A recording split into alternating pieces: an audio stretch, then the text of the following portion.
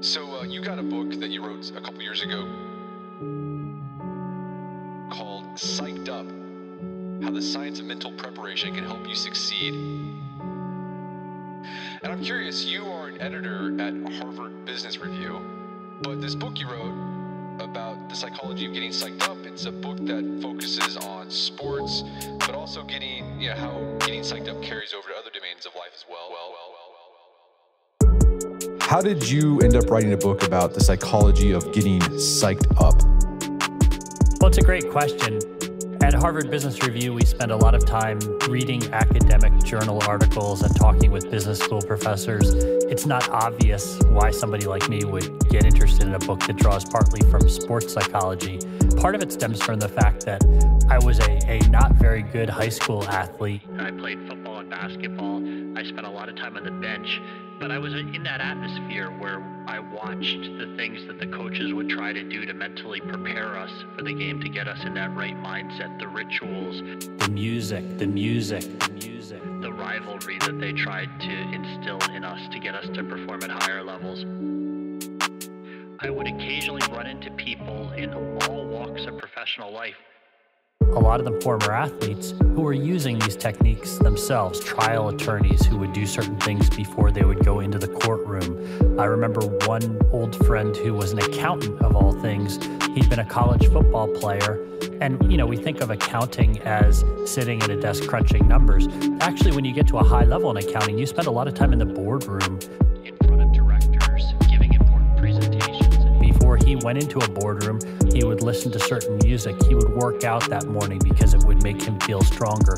He would do visualizations. So he was really using athletic preparation techniques for accounting.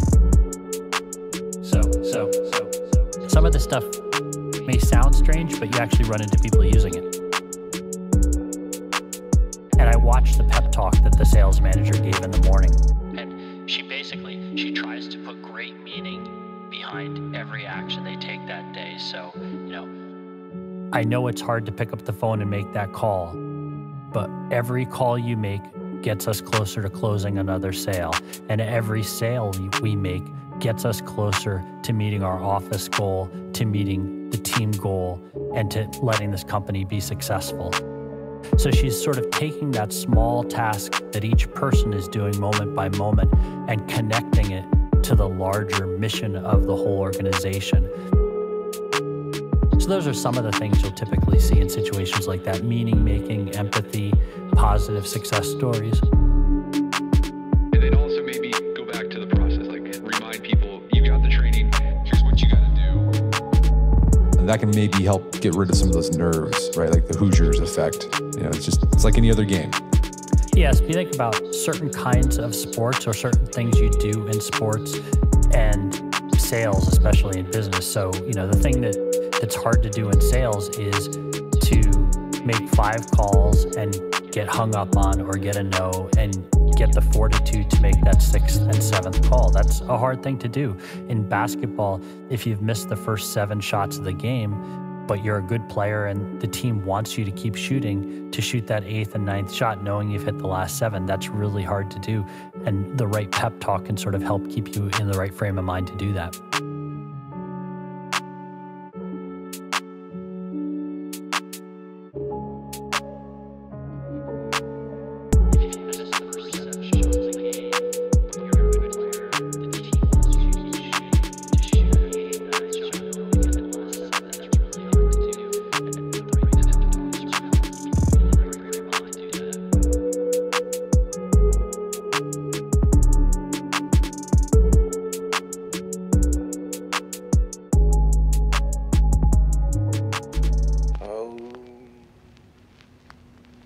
Demons be gone!